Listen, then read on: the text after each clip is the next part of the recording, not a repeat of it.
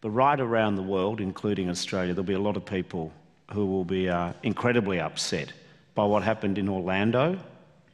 Um, what happened in Orlando was an act of terror, an act of evil, an act of fear. But also, it particularly targeted a gay club, a gay nightclub.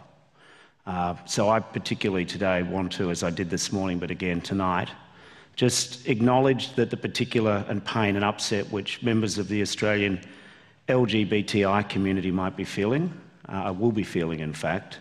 This wasn't just an attack on our humanity, this was an attack on our right to be proud of who we are, our right to choose who we love.